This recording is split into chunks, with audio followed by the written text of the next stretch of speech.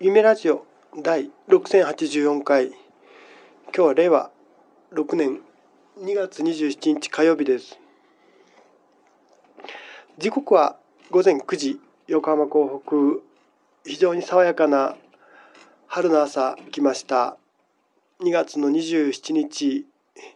今年はウルー年なのであと2日2月があります。嬉しいですね。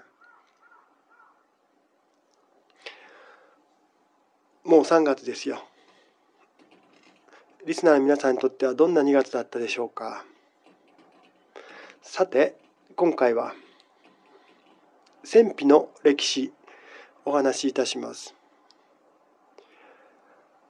中国の東北部まあ満州そして満州よりちょっと下あたりこの辺りに戦費というそういう部族がいてでこの戦費っていうのが大体2世紀からで3世紀4世紀で5世紀この辺に活躍しました。で今回戦費の歴史ということで北義を建てるその卓抜氏この卓抜市の前あたりまでお話しいたしましょ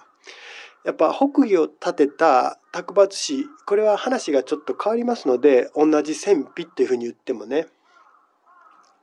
で今回の戦費っていうのは断石灰を中心としてあと可否能ですね可否能を中心としてその戦費の拡大そして衰退こういう放送にしたいと思います。以前夢ラジオで郷土の歴史をお話ししで郷土がまあ前漢これが大体紀元前200年で五漢これが大体紀元後200年この400年ぐらいにわたって前漢をもそして後漢をも悩まし続けた郷土が。そんな話をしました。しかも五感の時には強度もだいぶ衰えてきて。でそれほど脅威にもなくなっていた。でその強度の東側に月子月の宇治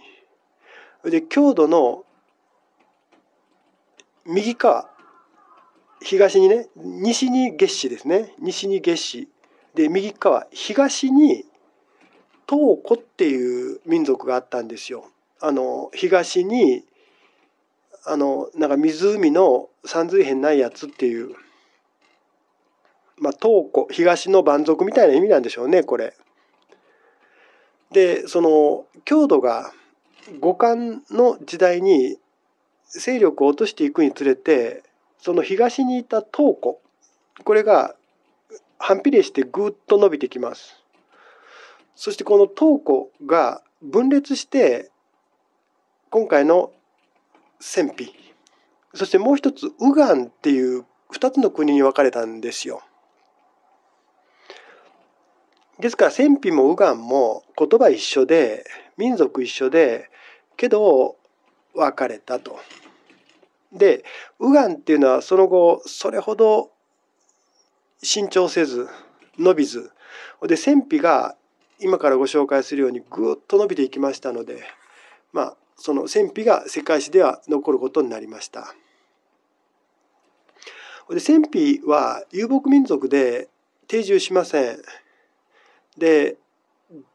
大人これは大臣と呼んでもいいと思うんですけど大きな人と呼ばれるリーダーが戦費の諸部族を率いる。こういうシステムでした。そして紀元後137年に断石会。もう戦費を語る時はこの人を抜きに語れません。断石会です。この人が137年に登場しました。でちなみに181年に亡くなってますからだいたい44か5で男性機械は亡くなられた。まあ戦費のヒーローといえばこの男性機械ですよ。でこの男性機械の父親に登録校って人がいてねでこの登録校はこの2世紀の時2世紀前半南郷土との戦いで家を3年ほど留守にしてたんですよ。でこの頃郷土は力衰えたということで北郷土と南郷土に分かれていてで北郷土はどっか行っちゃったわけですよ。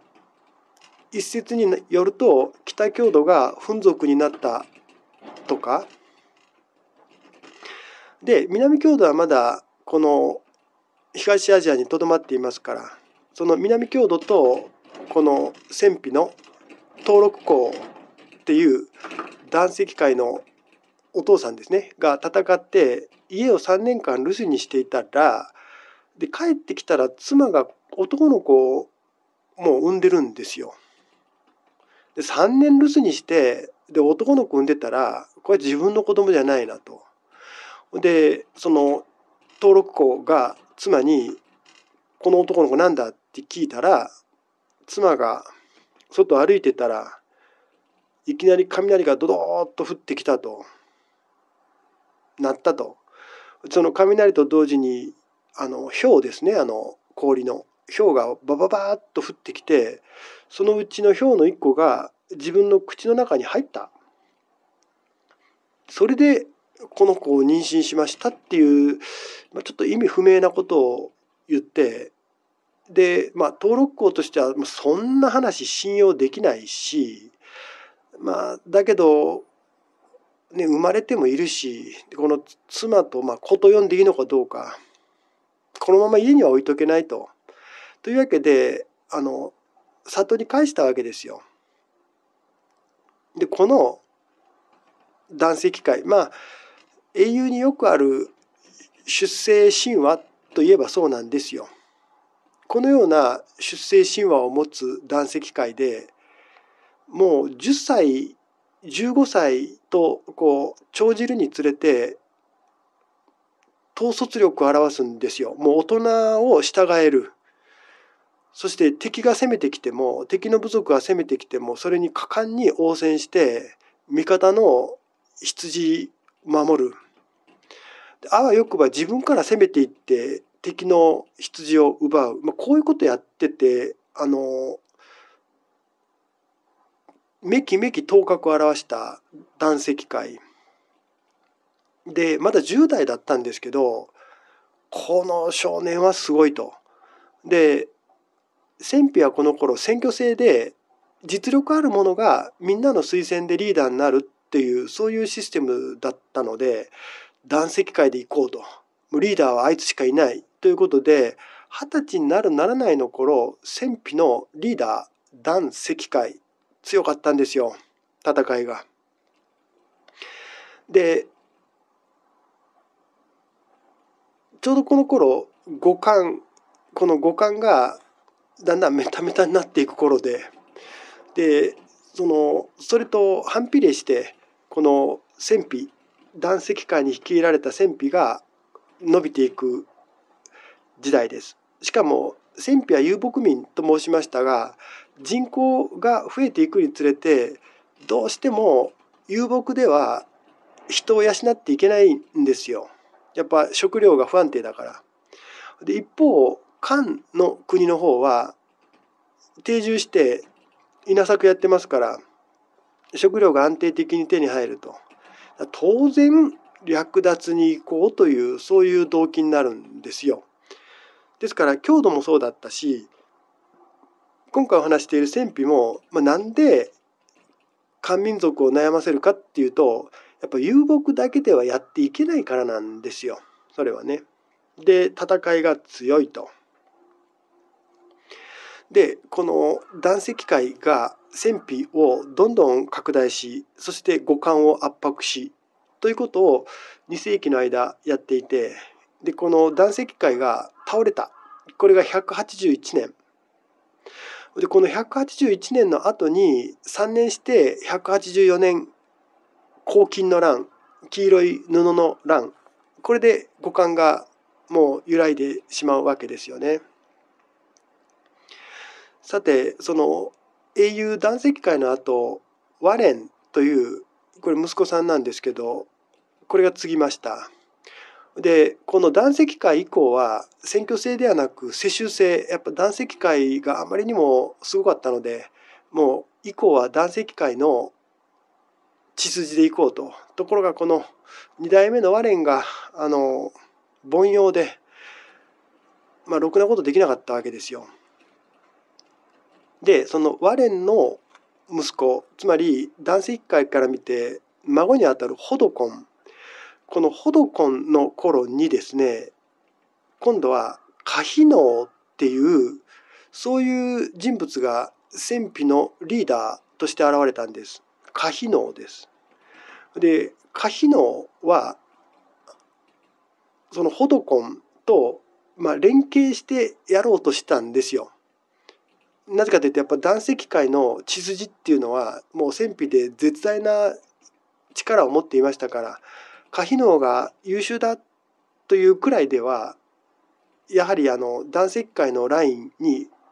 勝てない。みんなをまとめられないからホドコンと一緒にやろうとしてたんですが、まあ、最終的にはまあホドコンじゃダメだと。やっぱ可否能自分がやらないとということで220年もうこの時には義合職の三国時代入ってますよね。五感が倒れて。可否能は曹操って義にいましたよね。義に曹操っていてその息子さんで曹妃っていう人いたんですよ。これ文帝という文帝っていう呼び名なんですけど文帝から戦費の狩猟は君だという感じで指名されたんですよ。だから可否能は義三国時代のねあの北の方を治めてた義とうまくやりながら戦費をなんとかあの運営していこうと。で、まあ、ところが義としてはですねこの戦費って目障りといえば目障りでそのさっきは宗妃が可否能を認めてやった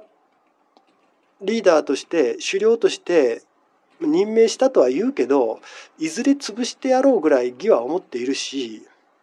で戦費も戦費でですね義がそれぐらい思ってることは100も承知なんですよ。ですからいつも義と義合職の義そして今回お話している戦費はもう緊張関係になったわけですね。やがてこの義合職の三国時代があのそれぞれ対立し合ってるうちにどこも疲弊してきて今度は秦という国が、まあ、できてくるんですよ。秦っていう国が。でこの秦と今回の戦費これまた対立するようになってきてでこの頃つまり可否能の後今度は樹機能というそういうリーダーがこの戦費に登場しこの樹機能が秦と戦うことになります。ところが、まあ、この秦っていうのは三国時代を終わらせてもう天下統一までもう一歩というとこまで行ったそういう国だけあってですねまあ戦費の、まあ、この頃樹機能の時代ぐらいになってくるともうだいぶ国家が衰退してきてるんですよ。だそれを、ま倒すぐらいわけなかったわけですね。結局騎馬部隊ですから戦費は。戦費は結局騎馬部隊なのでその騎馬部隊を包囲して殲滅するっていうその作戦を秦が取ってくるともう勝てない。受機能では勝てない。やがてこの秦という国も八王の乱というのが起きて、まあ、すぐに崩壊していくんですが、まあ、これが大体3世紀の後あたりとなるわけですね。やがて4世紀になると放送の最初にお話した戦費の中の卓抜っていうところが卓抜部とか卓抜族とか卓抜師っていうんですけどそこから北義というさっきの義合色の義とはまた別な北義という国が出てくることになります。そしてこの北義あたりになってくるとだんだんとですねその遊牧民なんだけども漢民族とこう混ざり合い文化も漢民族の文化を取り入れて漢字も使うようになってということでねだんだん戦費というその民族がなくなっていくんですよ。まあ、漢民族に吸収されるというかですから純粋に戦費という非常に特色あるそういう文化と伝統と言語を持ったそういう民族が活躍した時期はっていうと今回お話しした2世紀3世紀4世紀この辺りでしょうか、まあ、2世紀と3世紀か断石会可否能樹機能このリーダーたちです。夢ラジオ今回は戦費の歴史を話しました。